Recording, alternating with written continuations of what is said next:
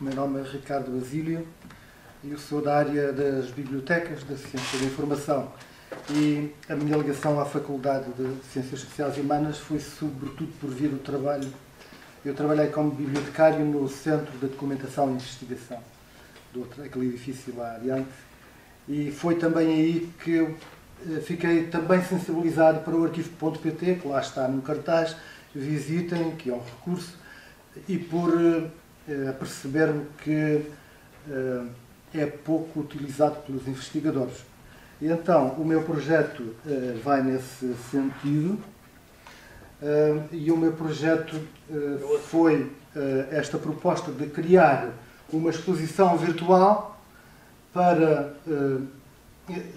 portanto, limitada a esta instituição, a FCSH, para mostrar e para dar uma representação de como é que foi a presença da faculdade na web ao longo dos anos, como é que a web se projetou.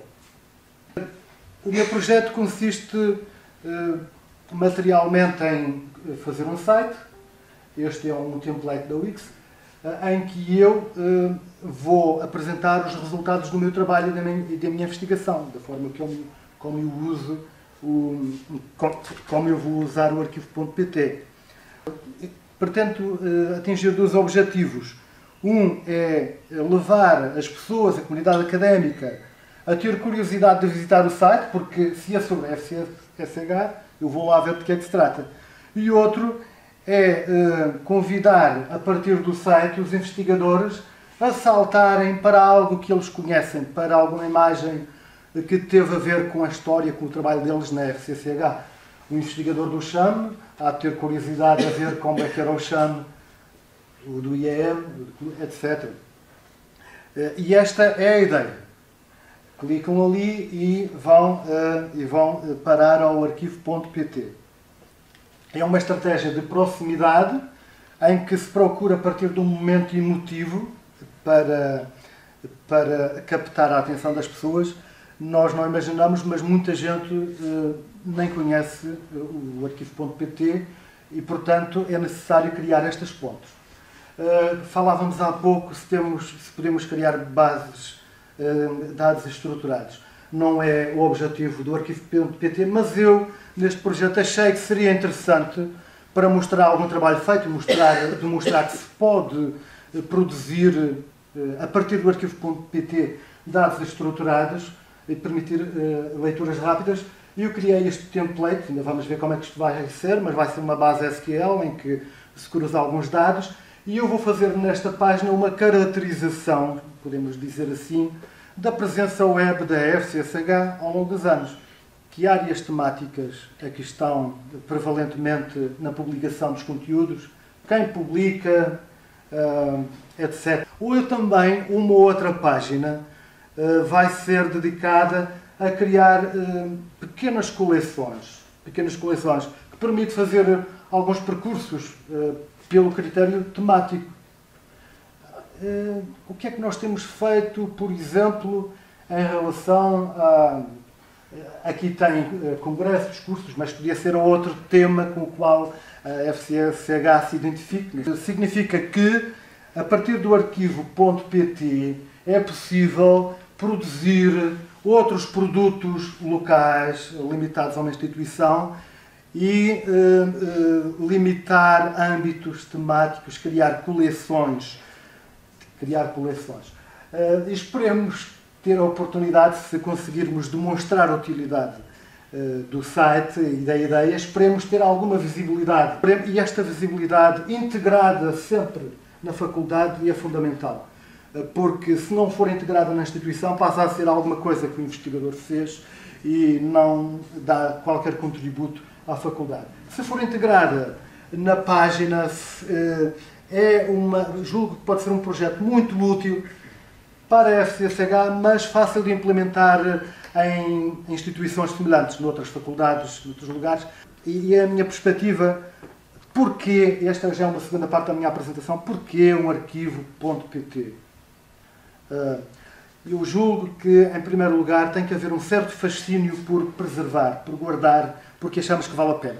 Isto é uma foto, ah, fui eu que tirei, eu ia no autocarro e achei que aquele, que aquele contraste do sol nas nuvens aquele, tinha que ser guardado e fotografado. Portanto, um fascínio, em primeiro lugar, para uma mentalidade de preservação. Mas a vida não vive de fascínios, vive sobretudo de trabalho, como nós sabemos. E, portanto, a preservação não vai com fascínios, vai com 10 anos de trabalho com, e outras estruturas a serem criadas. E, portanto, uh, eu julgo que é isto que é preciso incutir na interação que há de ser feita também no âmbito do, do projeto.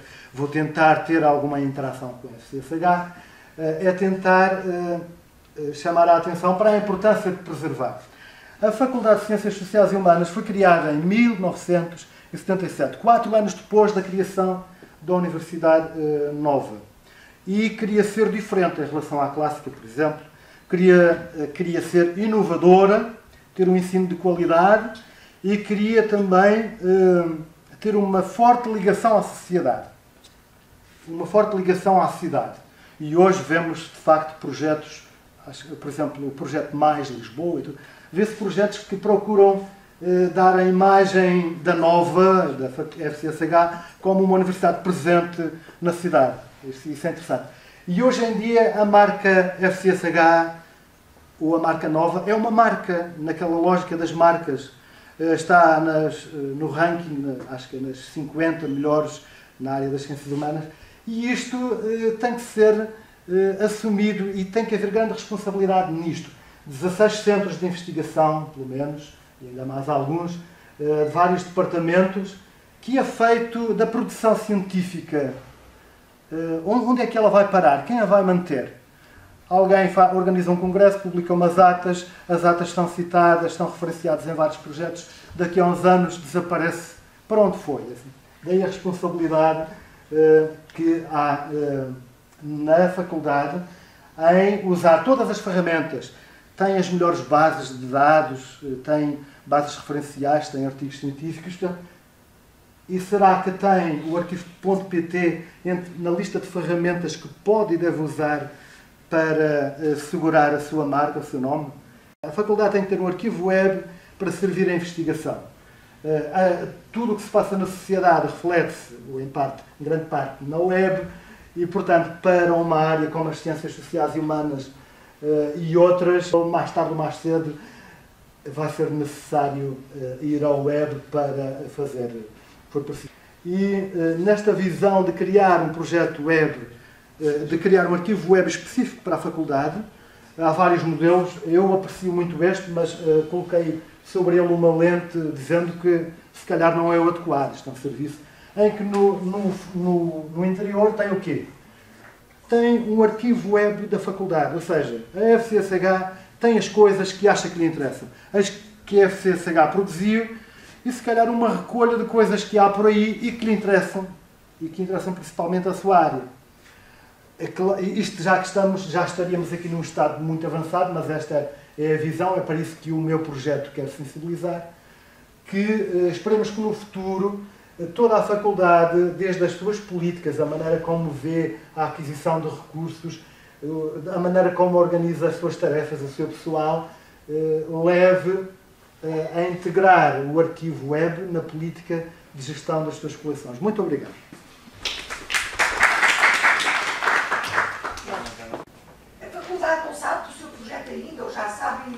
É. O primeiro passo foi concorrer ao projeto.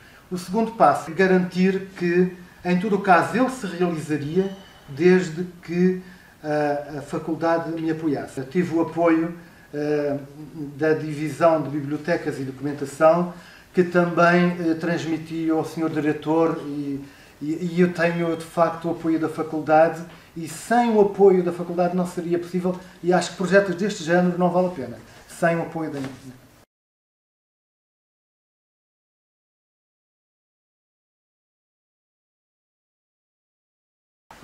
Boa tarde. Eu queria começar por dizer que estou bastante entusiasmado de estar aqui, porque, como se vê pelo título do meu projeto, o meu projeto tem que ver com a área da formação das pessoas que estão aqui presentes, em princípio, com a área das ciências da comunicação.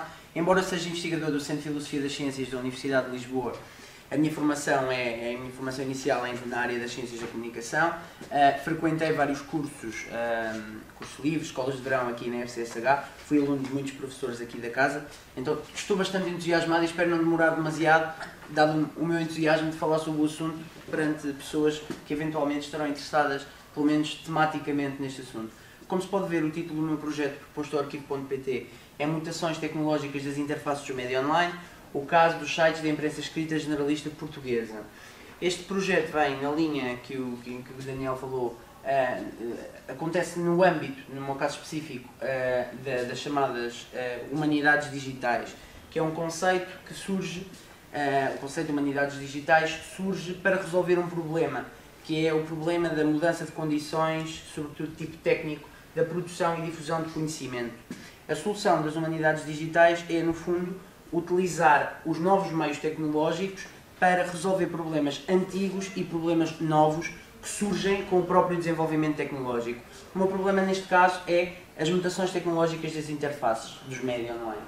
A questão geral que eu, que eu coloco tem que ver com a relação entre a comunicação pública e o desenvolvimento tecnológico digital, focado no caso do jornalismo digital, ou web jornalismo, como lhe quiserem chamar, em Portugal. Especificamente, tenho dois objetivos. O primeiro é de caracterizar as mutações das interfaces, ou seja, é descrever, existe um, inicialmente a ideia de descrever uh, a estrutura do, dos sites em cada momento, conforme as versões que estejam disponíveis no arquivo.pt e comparar umas com as outras. O segundo objetivo é sugerir pistas e tendências dessa mutação, dessa mudança, ou seja, compreender essa mudança de maneira estruturada, tendo em conta estudos prévios que já existem uh, sobre o jornalismo digital, que não existem utilizando o arquivo.pt. É essa a diferença.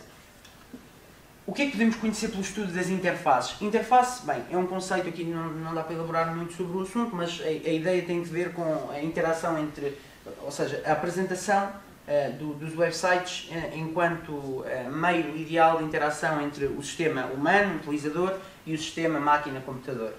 Uh, a ideia de que quando olhamos para estas interfaces podemos compreender algumas mudanças implica, uma, como eu disse, uma caracterização inicial de cada momento e a comparação entre essas caracterizações. Temos aqui duas versões, é assim que se chama no arquivo.pt, as versões dos websites, uh, um expresso uh, em 2008 e um expresso em 2012, portanto 4 anos de diferença. E são mesmo sensivelmente 4 anos, não é? é mais ou menos o mesmo dia, até as horas são parecidas. O que é que podemos ver? Podemos ver muita coisa. Mudanças gerais de layout, mudanças de login, mudanças dos, dos URL, mudanças da forma como são apresentadas as notícias, os textos que aparecem, um, não os conteúdos, eu não estou a falar de conteúdos, a minha investigação não tem a ver com conteúdos, tem a ver com forma, com estrutura. Uh, a ideia é como é que são apresentados os textos jornalísticos, como é que são apresentadas as imagens, como é que são apresentados os vídeos, como é que são colocados os espaços publicitários. Tudo isto pode ser pesquisado com, com recurso a estes dados uh, disponibilizados no arquivo.pt e estas mudanças não são meramente descritivas. Apoiadas noutros estudos prévios, eu tenho experiência, fiz uma investigação há pouco tempo no âmbito, uma, uma investigação sobre jornalismo digital em Portugal. A publicação será em breve num, num volume uh, patrocinado pela ERC. Uh, eu fiz uma investigação especificamente sobre o Expresso e tinha uma série de dados uh, que não conseguia compreender a 100%. Eu percebi que havia sinergias entre o Expresso, enquanto jornal e marca em certo sentido, e outras empresas, inclusivamente empresas fora da empresa de, de, de que faz parte do Expresso, que é a empresa, uh, e havia uma série de sinergias, uh, inclusivamente por vezes a empresa incluía empresas, procurava comprar empresas para procurar melhorar a sua forma de apresentação dos sites. Um exemplo é o AEU, um portal que veio a cair mais tarde, ou que a empresa veio a deixar cair, por motivos intrínsecos ao desenvolvimento das suas plataformas com o apoio do, destes dados do arquivo.pt podemos compreender estas sinergias, de que maneira que estas ligações entre empresas, o jornalismo e empresas privadas se dá de facto uh, e, e, se manifesta em termos estruturais. Uh, o arquivo.pt é bastante relevante neste sentido porque me dá, enquanto investigador, acesso direto e interativo ao material em arquivo. Ou seja, eu posso uh, abrir o computador, ir a uma página qualquer do Expresso, por exemplo, e de facto tendo em conta as condições de preservação dessa página, claro, que exige essa meta-reflexão, não é? Que, se, que será feita, que, porque aliás aparecerão certamente alguns problemas nesse sentido. Uh, a ideia é que eu posso navegar nesses sites, no site do Expresso, por exemplo, eu posso entrar nos links, eu posso ver os vídeos, eu posso fazer tudo isso. Além disso, dá-me autonomia em relação aos limites da memória institucional, em termos de acumulação e acesso. Ou seja, quando nós procuramos fazer um trabalho que tem ah, alguma preocupação histórica e tentamos aceder aos arquivos das instituições, há sempre uma fragmentação, e daí que eu falo de memória institucional e não de história, porque nem tudo foi guardado, porque muitas vezes não era dado prioridade a guardar certas coisas, não se valorizava, valorizava-se o, momento, aquilo que estava a acontecer no momento, mas não se percebia que era importante guardá-lo. Um, e depois, em termos de acesso, porque, bem, uh, o acesso aos arquivos institucionais é, exige uma quantidade de movimentação burocrática muito complexa, por vezes há limitações, há logo limitações em termos temporais, porque precisamos da resposta das instituições, há, há, há limitações de espaço, porque temos de usar os espaços das instituições, etc. Isto não acontece com pesquisa no arquivo.pt. Principais benefícios em termos científicos, eh, conhecimento novo, renovado e crítico, no sentido em que nunca foi feita uma investigação utilizando o arquivo.pt para pensar o jornalismo digital em Portugal, portanto é novo, o que aparecer é novo. É renovado e crítico porque, eh, eu, à, luz deste novo conhecimento, é possível rever uh, aquilo que já tem sido feito, as pesquisas que já têm sido feitas sobre os média uh, em Portugal. Além disto, um, ehm, há e o crítico é importante porque esta, esta questão, há aqui uma questão também, digamos, societal mais geral e importante para as ciências sociais e humanas, que é um, esta interação que é possível uh, averiguar entre empresas de comunicação que têm preocupações de tipo político e que procuram garantir a independência das suas publicações e a participação em empresas privadas é muito importante. E esta pesquisa pode contribuir para, digamos, alargar, e aqui já entro na questão uh, sociais, a avaliação da economia política dos médias portugueses. Além disto, por motivos patrimoniais que me parecem bastante óbvios, não é? Têm que ver com uh, preservar uh, uma memória ligada à web, do jornalismo especificamente, enquanto património nacional, e enquanto e, e dos próprios TIC. Em termos uh, muito concretos, o meu objeto de investigação são, consiste nestas versões, que são as que estão disponíveis no arquivo.pt, entre 1996 e 2015, 3.166 versões do Correio da Manhã, do Diário de Notícias do Público e do Expresso. Porquê estes jornais? Por critérios de antiguidade e constância das atualizações. Antiguidade porque, quer dizer, era preciso serem suficientemente antigos para valer a pena, para serem diferentes daquilo que são agora, não é? E era preciso haver uma constância de atualizações porque, quer dizer, um site que se manteve sempre homogéneo eh, não, teria muito interesse de ser avaliado do ponto de vista da sua dinâmica, precisamente, não é? Em termos metodológicos, existe uma fase zero, que já está a ser realizada, que diz respeito a uma aproximação aos arquivos, aos arquivos, neste caso, institucionais, para verificar o que é que eles têm e o que é que eles não têm, não é? Um, até para perceber a relevância do arquivo.pt, se é assim tão grande ou não.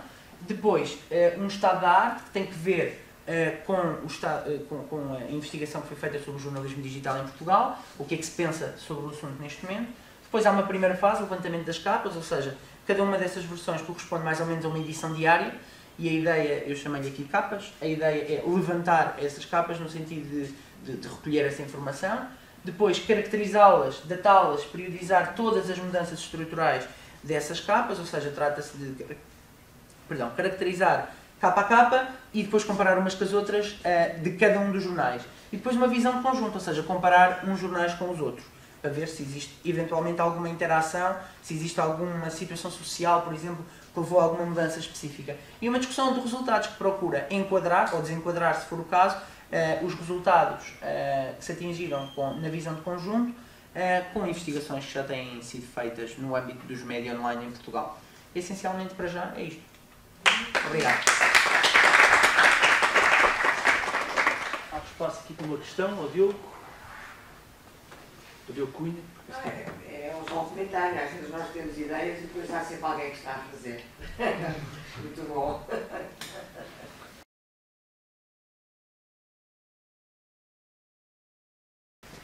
Bem. Boa tarde. Antes de mais, uh, eu sou formado em uh, Antropologia, primeiro, no ISCTE, uh, e depois aqui na FCSH. Trabalho em História aqui na FCSH, sou investigador do Instituto de História Contemporânea. Acho que era por isso que o Daniel me demitiu de colega e me passou para vosso colega só. O meu trabalho aplicado ao arquivo PT, na verdade, relaciona-se pouco com as coisas que eu faço como historiador, ou seja, estudo outro período, mas relaciona-se também com o trabalho de historiador e articula com a questão da antropologia. Uh, straight Edge foi uma cultura que eu vou detalhar mais à frente, porque antes quero entrar para outras questões, que existiu no meio punk português, ou seja, no movimento punk português, explodiu mais ou menos em meados dos anos 90 em Portugal, e muito sucintamente era uma cultura que se opunha mais ou menos ao estilo de vida nihilista do, do punk, portanto era contra o, o álcool, antitabagista, uh, muitos deles eram vegetarianos, opunham-se às drogas, etc. Pronto, e houve esta coincidência temporal do período de explosão desta contracultura em Portugal coincidir com o período de arquivamento basicamente do arquivo.pt. E não é só uma coincidência, como tentarei uh, dizer mais à frente.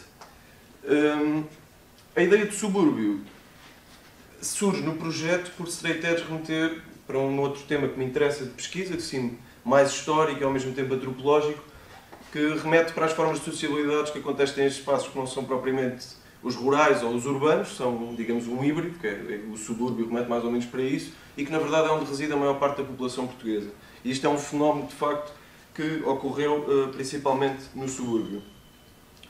Uh, Daniel estava a dizer que que hum, isto devia ser obrigatório, eh, ter, incluir o arquivo.pt, por exemplo, nos currículos de um curso de médio. Eu, eu, sem especificar a questão do arquivo, porque é uma fonte complementar, não, não é necessariamente a base ou a única fonte para um trabalho do historiador, do antropólogo de qualquer outro cientista social, hum, acho que ele devia, de facto, este tipo de ferramentas deviam, de facto, ser incluídas nos cursos de ciências sociais. Isto é um cartoon do Gary Larson e, por exemplo, os antropólogos Uh, há, um, há, uma semelhança mais ou menos entre os antropólogos e os historiadores. Os historiadores supostamente estudam o outro no tempo e os antropólogos estudam o outro no espaço. São contemporâneos, não é? Mas há esta ideia para os antropólogos de que porque as pessoas usam penas na cabeça não podem ter um telemóvel, não é? Ou porque andam de tanga não podem aceder à internet. E ao mesmo tempo para os historiadores, quer dizer, a internet é uma coisa que já é usada há 20 anos atrás e já é possível começar a fazer história sobre isso. E o Gary Larson, que é um tipo que gosta muito de caricaturar algumas ideias da antropologia, fez este cartoon em que estão os antropólogos a chegar à ilha e estão os, os, nativos a fugir, a preservar a sua autenticidade, a levar a aparelhagem, a tecnologia, etc. Se calhar se o, se o cartoon tivesse sido feito ontem, estavam a levar um laptop ou uma coisa do género. Um, isto, para passar depois ao objeto de estudo, isto levanta-nos o uso do arquivo, etc. Coloca-nos algumas questões e abre-nos algumas possibilidades enquanto cientistas sociais. E na verdade este meu trabalho, apesar de se focar num case study, remete muito para problemas epistemológicos e metodológicos uh, da investigação. Problemas. Estes dois senhores, por exemplo, para dar um exemplo, o Trump não vale a pena detalhar muito, toda a gente sabe que usa muito o Twitter, etc.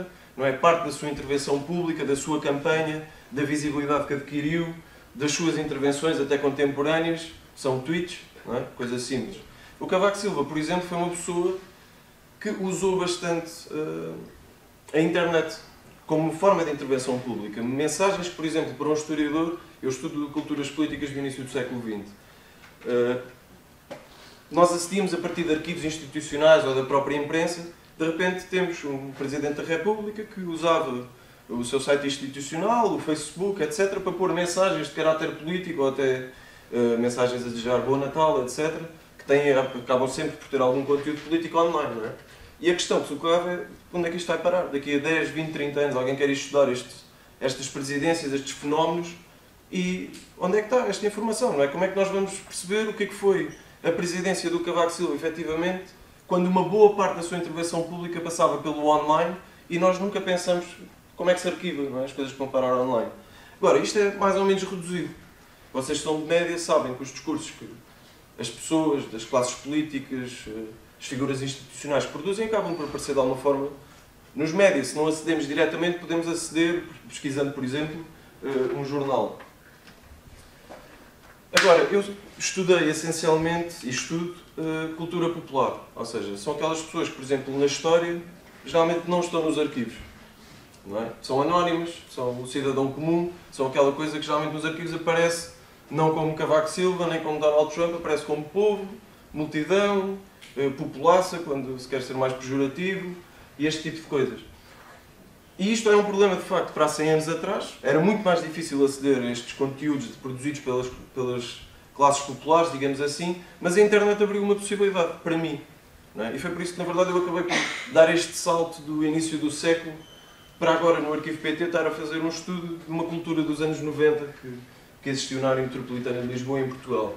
E abriu porque, como dizia o Daniel também, hoje em dia, antigamente as pessoas, algum, enfim, isto não, não é totalmente uh, preto e branco, mas as pessoas passaram a produzir blogs, é? passaram a, a colocar os seus conteúdos online e a depender menos de intermediários. Como se sabe, nos mídias fala-se do problema, por exemplo, das redes sociais, etc. Uh, acabou por perturbar de alguma forma o papel dos mídias de disseminação da comunicação, de criação de uma opinião, porque de repente somos bombardeados com montes de fontes de informação e as próprias pessoas muitas vezes são as produtoras dos conteúdos às quais acedemos. Para mim, isto é na verdade uma vantagem de trabalho, apesar de ser um pouco caótica, não é? Mas eu de repente, estudando as culturas populares, tenho acesso a muitos dos conteúdos que elas produziram. E aqui chegamos ao straight edge, e à cultura punk, ao hardcore, ou outras culturas. Por exemplo, podia-se falar da Eurovisão agora, não é? O fenómeno Salvador é um fenómeno em grande medida da internet, não é? Que se produz nas caixas de comentários ou do YouTube, ou em sites, em blogs. E lá está, um dia quer-se estudar este, esta coisa espetacular, ainda por cima se o Salvador ganhar, e como é que nós vamos estudar. E no caso do Straight como eu dizia, não foi simplesmente uma coincidência, coincidisse que o movimento tivesse explodido no período em que, por exemplo, o arquivo.pt iniciou o arquivamento das páginas. E não foi coincidência porque deveu-se muito à internet. O Straight Edge foi uma cultura que nasceu no início dos anos 80 nos Estados Unidos, não havia propriamente internet. Uh, funcionava através de redes informais, nunca teve visibilidade mediática, nunca apareceu no, nos jornais propriamente, e no entanto conseguiu criar uma rede que se estendia, por exemplo, aos Estados Unidos inteiros e em Portugal uh, uh, ao território nacional. Agora, o que foi engraçado foi, o Straight Edge chega a Portugal neste, em meados dos anos 90 e haviam, por exemplo, 30 pessoas que diziam que seguiam a cultura Straight Edge, em Sintra, outras 20 em Louros, e nenhuma delas sabiam da existência uma das outras. Ou seja, isto não era um movimento não é? Era um grupo de amigos que tinham uma afinidade uh, com o estilo de vida. O que a internet possibilitou foi, uh, uh, foi portanto, colocar todas estas pessoas em contacto. E eu entrevistei algumas destas pessoas na altura e elas dizem de repente nós descobrimos que há outras pessoas no subúrbio ali ao lado que faziam exatamente aquilo que nós fazíamos e que pensavam exatamente as coisas que nós estávamos a pensar e nós não, não enfim, não tínhamos conhecimento. Portanto, isto é de facto um, um case study que só é mesmo possível por causa do arquivo.pt. Eu tive contato mais ou menos com a cultura na altura e, entretanto, nos últimos 10, 15 anos eu questionava como é que um dia alguém vai querer estudar este fenómeno, porque teve um impacto considerável, ainda que underground, marginal, de certa forma invisível, mas teve um impacto que ainda hoje perdura em alguns setores da sociedade portuguesa. E como é que alguém um dia vai querer estudar esta cultura de onde saíram, por exemplo, questões que hoje em dia tem representação parlamentar através do PAN, por exemplo, os direitos dos animais. Uh, a questão dos direitos dos animais surge em grande medida por causa do straight edge, pelo menos as primeiras manifestações eram, uh, enfim, uh, compostas de muitas pessoas que vinham desta cultura. Pronto, e isto é, foi um dos sites, como disse, o arquivo.pt arquivou, foi o que me possibilitou aceder a estas páginas de outra forma teriam desaparecido. Isto era a página, digamos, principal de, foi só para vos trazer um exemplo de uma página do movimento. Uh, é isto. Muito obrigado.